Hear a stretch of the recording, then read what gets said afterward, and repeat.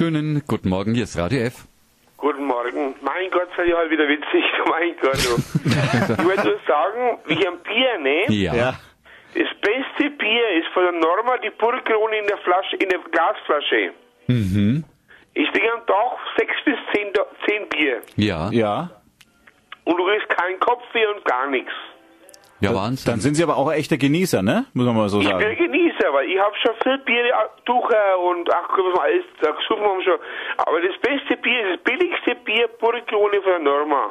Ja. Das helle, das helle. Aber in der Glasflasche, nicht in der Plastikflasche, ne? Nein, eine Glasflasche. Plastik ist ja ganz, oh Gott, oh Gott. Plastik ist ja fast schon, ja, das ist ja schon, naja, ganz schlimm.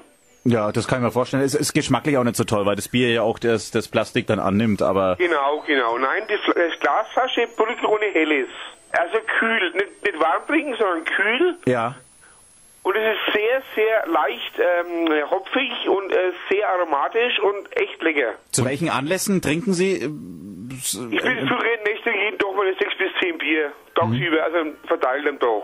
Okay, also gibt es keinen bestimmten Anlass, dass Sie sagen, mein Gott, der Feierabend jetzt, äh, Nein, nein, nee. Äh, ja, f- äh, wenn wir Party machen, gibt's auch nur Burgkrone. okay.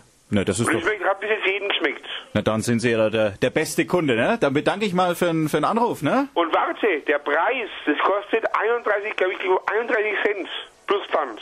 Und, und das sind mit einem guten Geschmack noch dazu. Wunderbar. Also ich sag, das Bier ist wunderbar. Es steht nur drauf, hergestellt für Norma, aber für, von wem weiß, das weiß keiner. Hm. Da ist ja der Trick vielleicht auch dabei, dass es dann ein bisschen günstiger ist, ne?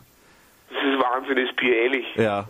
Aber schmeckt immer gleich. Es schmeckt immer gleich. jetzt haben Sie mal einen gescheiten Dosch gemacht. Jetzt hätte ich jetzt, jetzt, aber ich, in der Arbeitszeit geht es, geht es natürlich nicht, ne? Da haben Sie es jetzt ein bisschen, bisschen leichter. Ja, Wahrscheinlich. also ich kann jetzt das trinken, ja. Ich mache mir jetzt gerade das zweite auf. Äh, Oh, das dritte Mensch, schon. toll. Das dritte. da, da haben Sie doch recht. Das ist ja Also, wunderbar. tschüssle. Danke Ja. für den Tipp. Tschüss. Ade.